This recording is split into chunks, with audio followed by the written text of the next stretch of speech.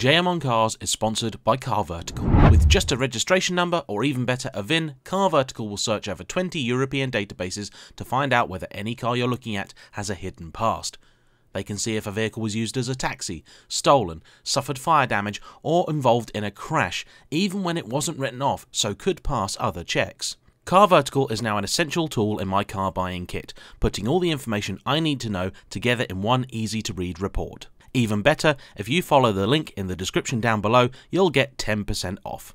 A big thank you to them for being today's sponsor. Italy is a country that's often cited as producing some of the most interesting and exciting automobiles in the world.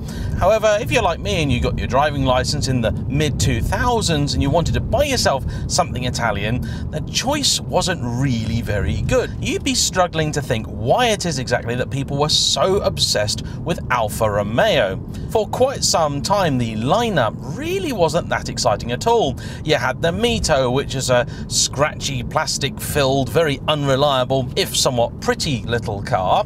Then the Giulietta came along and was again very, very nice to look at, but awfully cheap inside and chronically unreliable. Without a shadow of a doubt, one of the most casually broken cars I've ever driven. Even when the 4C appeared on the scene and everyone hoped this was the beginning of a new dawn for Alfa, they didn't quite get that right either. It didn't get particularly good reviews, citing generally unfavourable comparisons with the Lotus products of the time. But then, at long last, in 2015, six years ago now, we finally got to see the car that should have brought Alfa Romeo back. It was called the Giulia, and the one they debuted was the Quadrifoglio. It had all of the ingredients for guaranteed greatness. A very attractive body shell featuring a number of carbon fibre components, carbon bonnet, carbon roof, carbon prop shaft. It also had a fire-breathing 500 horsepower twin turbocharged V6 engine which everybody knew was Ferrari derived, but for some reason lots of people claimed that it wasn't, and it was rear wheel drive. You could even, in Europe, get it with a manual gearbox. The car then came out, and lo and behold, at long last, this was not an Alfa Romeo you needed to make excuses for anymore. Everybody loved it. Six years later, though, and it's just been announced that the Giorgio platform on which this car is based is going to be canned. The Giulia will be its one and only fruit but what a harvest it was. Alfa are currently in the middle of making the ludicrously overpriced and little bit silly GTA M. If you've got about £40,000 burning a hole in your pocket, you could pick yourself up a very nice example of the Quadrifoglio. A few years ago, it looked like about 30 grand would do the job. However, in the last year, car prices in general have gone up, and I think there's very good reasons why these may stay strong for some time yet, especially as there is now not going to be another one.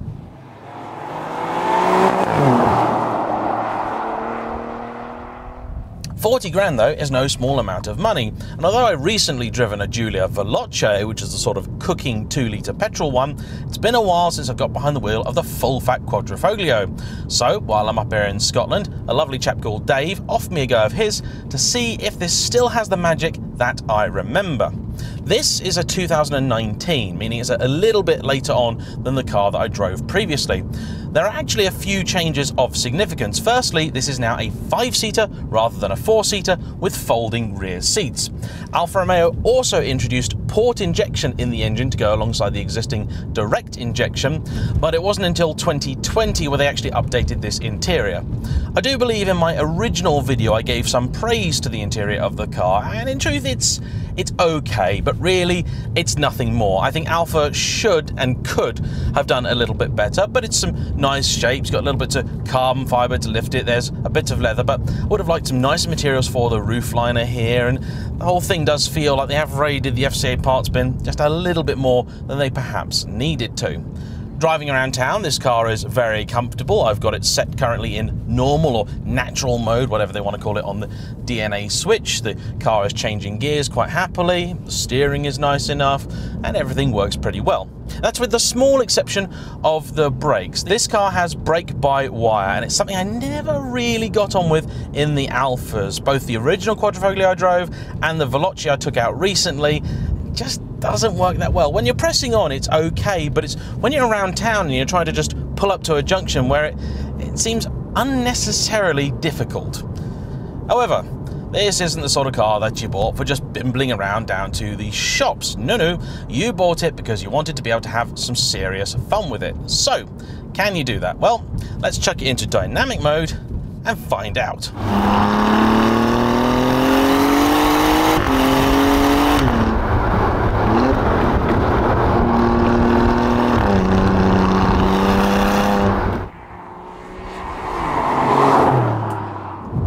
Really quite a complicated car, this. It has so many absolutely fantastic elements to it. You can see the carbon bonnet there just sat underneath the painted section. The steering is quite quick, the car being designed by ex-Ferrari people. It does still have some feel in it, but not masses. The amazing thing though is how well this car disguises its weight.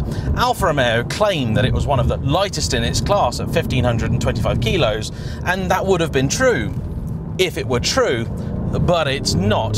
You see, Alfa's scales they must have borrowed from Lotus and then got even more wrong because this car, in actual fact, is closer to about 1700 kilos. That makes it about 75 kilos more than the equivalent F80 generation BMW M3. It's only about 30 kilos less than the new absolute heifer of an M3. The gear shift remains spectacular. These beautiful aluminium paddles are really nice in the hand, the action is very pleasing, and the calibration is superb. Both up and downshifts, no problem at all.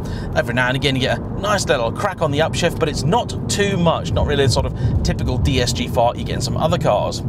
What is slightly disappointing though is the exhaust. Previously I've said that Alfa Giulia's never really sounded that nice. And the truth is this one doesn't sound like anything at all. One of the criticisms of the original car was that the exhaust valves only open when the car was in race mode. However, when you do that, you then got no traction control.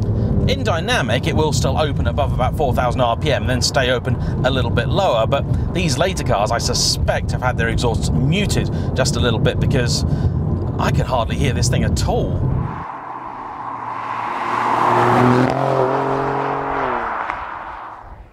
Alfa took another item out of the Ferrari playbook, which is the little soft suspension button here. They don't call it bumpy road mode. And it means that even over pretty broken tarmac, ride quality is really excellent. On longer journeys too, you can even get about 30 to the gallon, which is not that bad for a car with this kind of performance you get into a groove with it really quickly. Grip is very impressive for a car with 500 horsepower, 440 pound-foot, that's 600 newton meters, and only rear-wheel drive. You can throw this around like a hot hatch. In actual fact, on this section of road, I say the dampers are nearly too soft because the car does seem to exhibit a little bit of lack of control of its body, which is surprising me. That no doubt is a function of the sheer weight this thing is carrying. I do recall at one point Top Gear actually tested one of these versus the new Honda NSX on a wet track and the Alfa was nearly as quick despite having something of a power deficit and rear wheel versus all wheel drive. Well, it was only a couple of days ago that I took a brand new Honda NSX down this road and I've got to say, this is really just as fast. An amazing achievement. Storage in the back is okay, boot space is actually pretty good, and if you are thinking of buying one of these, there isn't really a lot to choose from between them.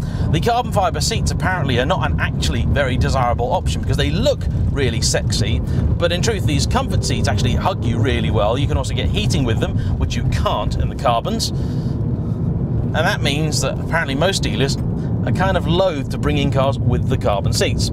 That steering doesn't feel quite as hyper as it once did, but I think that's probably because I've been driving quite a few products from Maranello lately, so I've just become somewhat accustomed to it. Does mean though that you can make fairly good progress, and until you get into a, a really, really tight bend, you don't have to get too crossed up.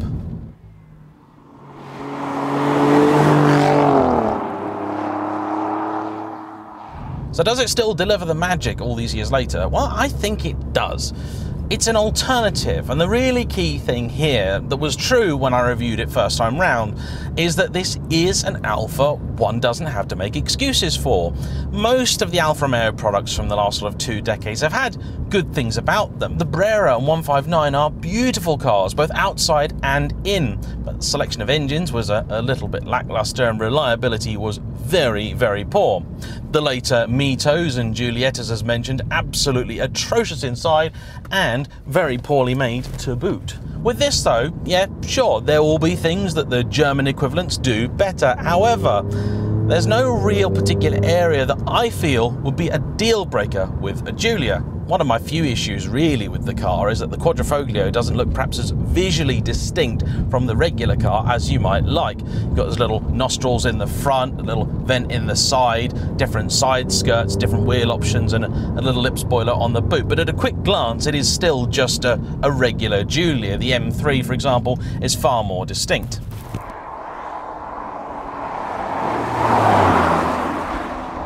out of this entire package, though, is perhaps the engine, which for me is now the weak link. Yes, I know for many it's the Superstar, however, it's quite reluctant. It doesn't really like to boost that early.